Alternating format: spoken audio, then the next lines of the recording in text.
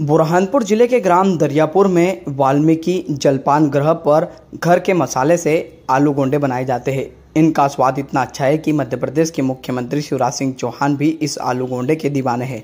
जब भी वह बुरहानपुर पहुँचते हैं, यहाँ के आलू गोंडे ज़रूर खाते हैं। कई बार तो वह स्वयं भी दुकान पर आलू गोंडे खरीदने के लिए पहुँचे हैं। मध्य प्रदेश और महाराष्ट्र की ओर से आने जाने वाले लोग भी इस दुकान पर ही रुकते हैं और नाश्ता करने के बाद आगे का सफ़र तय करते हैं। इस दुकान पर मिलने वाले आलू गोंडे का वज़न करीब सौ ग्राम के आसपास रहता है और इसकी कीमत मात्र बारह रुपये है। यहाँ पर घर के बनाए हुए मसाले से इस आलू गोंडे को तैयार किया जाता है। जब दुकान संचालक कड़ू तुकाराम सबकाले से बात की तो उन्होंने कहा कि घर पर तैयार कर मसाले से आलू गोंडा बनाया जाता है। मेरी दुकान के आलू गोंडे बहुत प्रसिद्ध है। मध्य प्रदेश के मुख्यमंत्री शिवराज सिंह चौहान के साथ कई सेलिब्रिटी भी दुकान पर पहुंचकर नाश्ता करते हैं और कई मुसाफिर तो अपने साथ अपने रिश्तेदारों के लिए भी लेकर जाते हैं। यह आलू गोंडा आठ से दस घंटे तक खराब नहीं होता है। आलू गोंडो की कौन कौन पसंद करता है? सेलिब्रिटी भी पसंद करते हैं और सीएम भी आलू गोंडो के बहुत हाँ हाँ हाँ।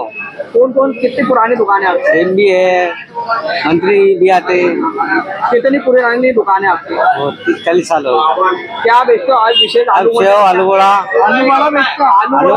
वड़ा। कहते लोग क्यों पसंद करते हैं? क्या स्वाद है आपका?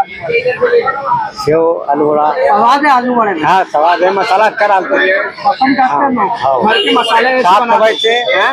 घर के मसाले से आलू के मसाले से आलू बड़ा मसाला। दूर दूर से आलू हाँ। खाने आते हैं हाँ हाँ। महाराष्ट्र के लोग भी पसंद करते हैं। बिल्कुल। महाराष्ट्र के लोग भी पसंद करते हैं। क्या नाम है आपकी दुकान का?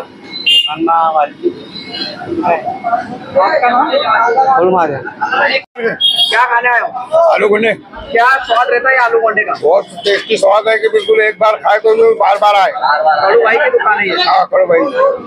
बहुत पहले से आ रहे हो आप। बहुत पहले से। क्या नाम है रमज़ान।